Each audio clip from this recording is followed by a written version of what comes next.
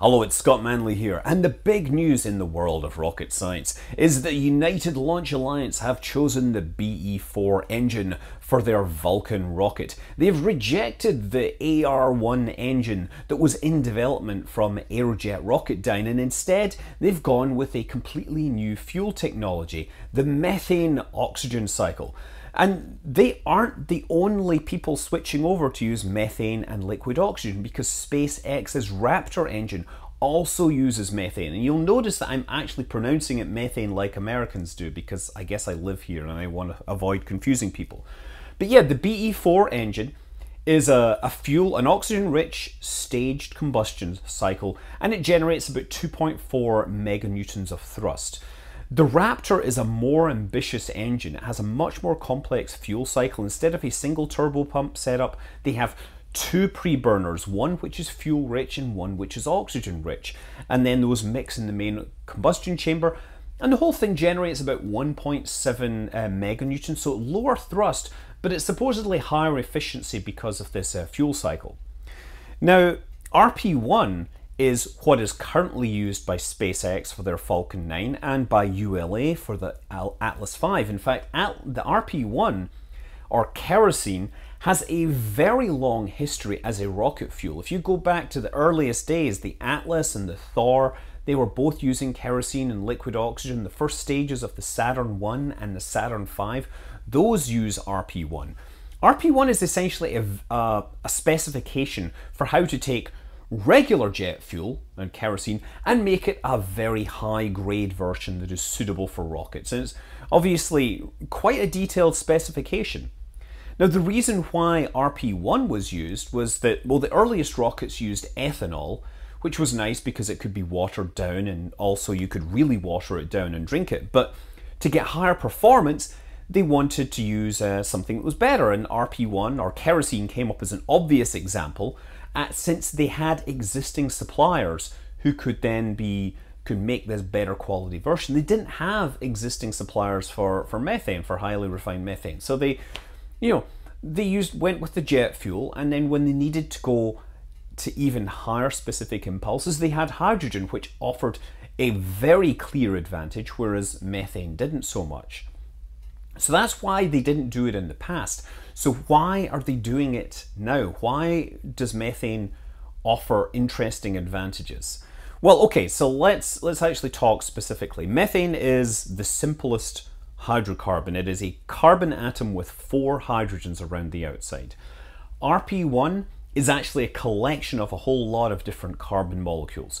Uh, it's typically represented as a, a kind of, you know, mi the median type is 12 carbons with 24 hydrogens along the side. But you know, it could be a single chain or it could actually be a branching chain. It could have like 10 carbons, it could have 14 carbons. There's a whole range and mixture of molecules in this. It's actually much easier to refine methane down to the very simple molecule. So because of this, when it's burned, it has less partial you know, combustion products that can form into polymers. So first of all, that makes designing the engine a little easier because you don't have to worry with coking happening in the wrong area, setting down deposits of carbon which might gum up your engines or your injectors or any other stuff. Secondly, because it has all those hydrogens, it has more hydrogen but compared to other uh, you know other more complex hydrocarbons so uh, the exhaust products tend to be lighter. It produces twice as much water compared to carbon dioxide for uh, compared to other materials. So therefore the exhaust products are lighter and that gives you a slightly higher specific impulse. On the other hand, it is actually slightly less energetic. So the exhaust isn't as hot, which means that, yeah, because the exhaust just isn't as hot, the specific impulse is lower, but because the exhaust products are lighter, it ends up getting an advantage in specific impulse. But you know, if you're reusing your engine, having cooler combustion uh, temperatures can only be considered a win.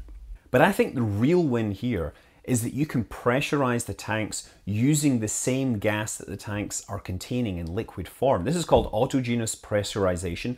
And as you're burning the fuel, you can heat some of it up in the engine and pass that back in to keep the, the tank pressures up. Now, in the Falcon 9 and the Atlas V, what you do is you use helium for this because helium is light. But if you can eliminate that, it eliminates like another extra piece of complexity. So this saves complexity, saves mass, and uh, yeah, so that's an obvious upside. Now there is a downside, and the downside is that methane is about half as dense as RP1. Uh, so you're talking something like 800 kilograms per cubic meter for RP1 versus about 400 for, for methane. And that you would immediately think, well, the tanks would have to be twice as big, but you also have to remember that you're burning this in a fuel oxygen mixture, and the oxidizer really is should be considered part of the average density. So when you combine the fuel and the oxidizer requirements for each design, it's actually only about a 20 to 20% advantage versus 50% advantage. So yeah, it's not as good, but it's pretty good. It, it's quite acceptable, I guess. 20% rather than say helium, or sorry, hydrogen, which is really bad. Anyway, that's all great. Uh, yes, sure, it is cryogenic, but actually cryogenic turns out to be kind of advantageous because it means more coolant and you can use this autogenous pressurization. So, you know, the extra complexity turns out to be a win in the end. There is another side of this, is that Elon Musk is obviously very interested in Mars. And Back in the 90s, there was an idea called Mars Direct. This was championed by Robert Zubrin. It was a plan for a human Mars mission. And a big part of this was that instead of shipping all the fuel to leave Mars to Mars, you would actually only ship up a small amount of hydrogen, about 8 tons, and you would ship a fuel production plant that would take carbon dioxide from the Martian atmosphere and using the Sabatier process, you'd combine this with the hydrogen and you would get methane and liquid oxygen. So you could get about 100 tons of propellant and oxidizer out of, you know, 8 tons of hydrogen, which was very nice. It would be enough to get you back into space. Uh, the idea, of course, was that you would send your spacecraft out to manufacture the fuel you know, years before, and you would only then send the people along when you were 100% sure that you had the fuel and oxidizer set up and ready to go. This is actually the uh, the mission profile that they use in The Martian, if you remember. But the whole fuel production on Mars thing is a distant future kind of thing. The real advantages of methane are here and now in terms of being burning cleaner, being able to burn cooler, and being able to get slightly higher performance out of the whole thing. And that is why everybody is switching over to it. But I'm going to say it's not the only, uh, they're not the only alternative that's being championed right now. Vector Space Systems has just got a patent for a pressure-fed rocket engine that instead of using methane or uh, RP1, it's going to use uh, propylene or propene. That is essentially three carbon atoms with six hydrogen atoms on the side. There's a double bond in one of the carbons there. And uh, that's interesting. It's going to burn hotter. It's actually going to burn even hotter than RP1. So it has more energy and that actually helps it get slightly better performance than the RP1 because the ch carbon chain is shorter. There's less, you know, partial combustion products to deal with. So again, less chance of um, of this coking going on.